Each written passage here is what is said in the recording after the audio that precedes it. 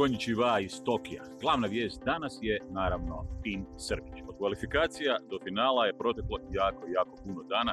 Gledali smo i na društvenim mrežama, slušali smo ga kako govori o tome kako se priprema, da će pojačati bre, da će svoju vježbu pojačati, da će biti još bolje, da će biti još jači. Vidjeli smo rezultat danas, Tin Srbić.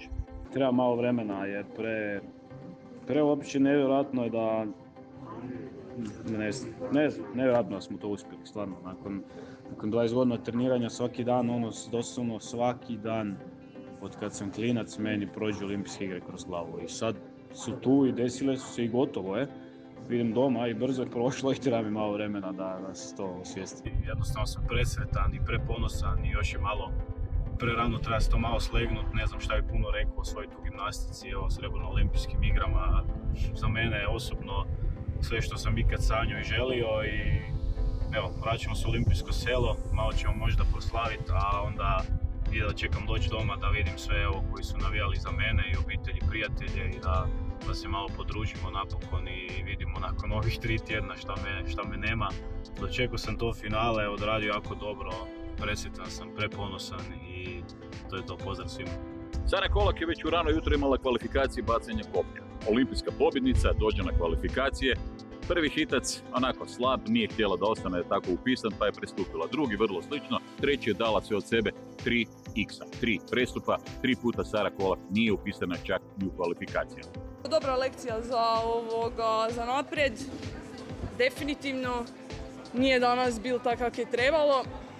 Tako da, ništa. Završiti sezonu, napraviti plan, resetirati se, izvući najbolje iz ovoga. Iskreno, nije uopće vredno trenutno razgovarati o tome jer ja prvo moram otići gore u Norvešku popričati s njim, onda budem vas obavijestila o svemu. Trebam se sad ohladiti malo od ovoga svega. ne mogu reći da nisam razočarana, naravno da sam razočarana, ali opet ne budem dala da me to dotuče i kažem, s njim moram popričat. Do kraja godine još su dve dijamantne lige, još ima par mitinga, hanžeg, tako da kad dođem doma budem znala detaljni plan da se tijelo odmori i sve. Gladna sam, željna sam natjecanja, ne sekiram se, ne bojim se, motivirana jesam, velim.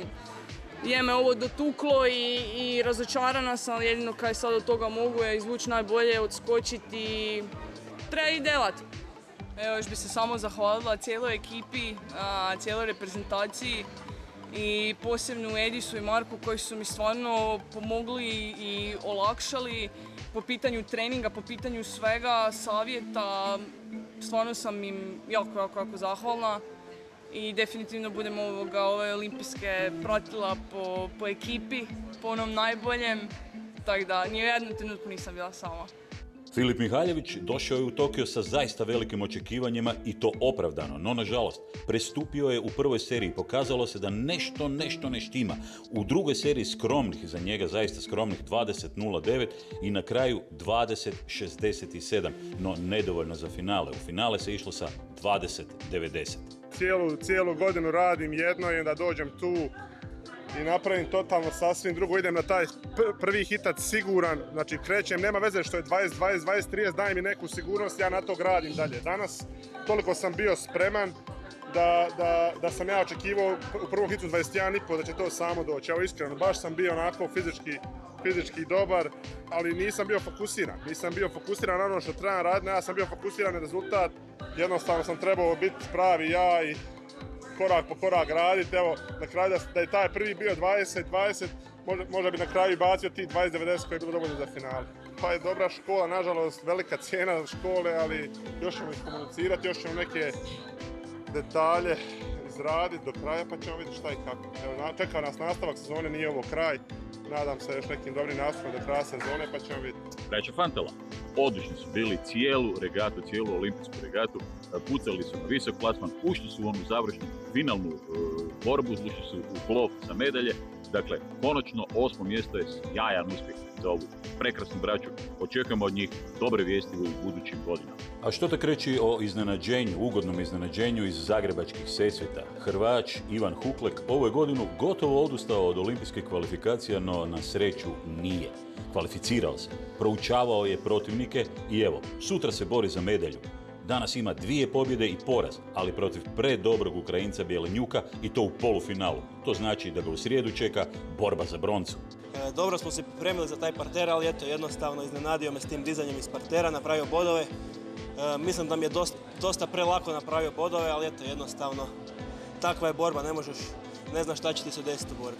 Pa znači tu će biti neko iz repasaža koji se sutra bore, znači protivnici koji je već prije pobjedio Ukrajinac, znači to će biti ili Alžirac ili ili Srbin koji je u stvari Gruzijac, tako da neko od njih dvojice ko pobjedi ide na mene u borbi za treće mjesto. Hrvo sam s obojicom, tako da otprilike znam kako jedan i drugi hrvaju, tako da ćemo sigurno složiti dobru taktiku idem dati sve od sebe sutra put da ako je moguće uzeti tu broncu. Ovdje u Tokiju možda malo pada intenzitet nastupa hrvatskih sportašica i sportaša. Međutim, intenzitet njihovih povrataka i dalje je itekako jak. Hrvatski olimpijski odbor u Zračnoj luci u Zagrebu da svakog od njih dočekuje na jedan poseban način, na otvoreni način i evo što smo zabilježili danas. Hvala vam na ovoj lijepoj dobrodošlici, makar je i ovako kasno. Super su dojmovi bili, stvarno to zajedništvo unutar e, hrvatskog tima cijelog je bilo super, svi smo se i družili, čak smo uhvatili vremena i za druženje između borbi i natjecanja svih, e, svih tamo olimpijaca. E, što se tiče samog rezultata, možemo biti ajmo reći onako 50-50, nismo ni zadovoljni, nismo ni tužni.